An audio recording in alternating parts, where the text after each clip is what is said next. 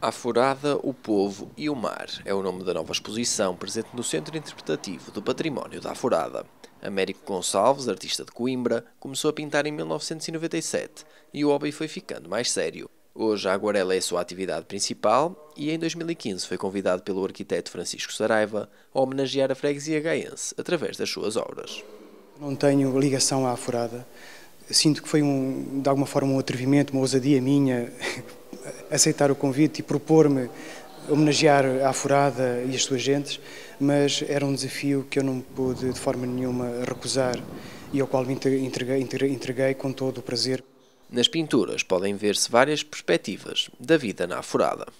Não só a zona ribeirinha com as embarcações e vários momentos de luz e de que me tocam e aos quais não posso ficar indiferente, mas também a, população, eh, a figura da mulher, eh, que tem uma presença determinante na afurada e na comunidade, e depois a faina também propriamente dita e a vida ligada ao mar, fundamentalmente sublinhando a presença da figura do pescador e da, e da sua atividade diária na faina. Para os visitantes, o primeiro impacto foi positivo. Expressa muito bem eh, a vivência, o sentir, o pulsar das gentes e, de, e de todo o bulício aqui da zona tem muita ligação à, à, pesca e ao mar e aos homens e às embarcações.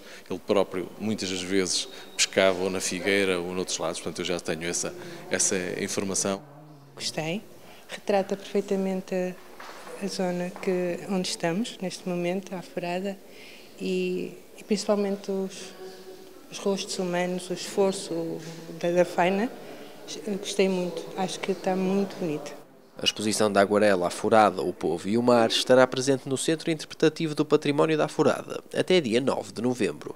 O autor deixa-lhe o convite. O meu atrevimento, como dizia, é uh, estar aqui uma homenagem à Furada e às suas gentes. Quem quiser ter a amabilidade de visitar este espaço, não só a exposição, mas também o centro interpretativo, que evoca de forma notável essa memória do povo da Furada ligado ao mar. Uh, e, portanto, é esse o convite que vos faço. Espero que gostem e sejam bem-vindos.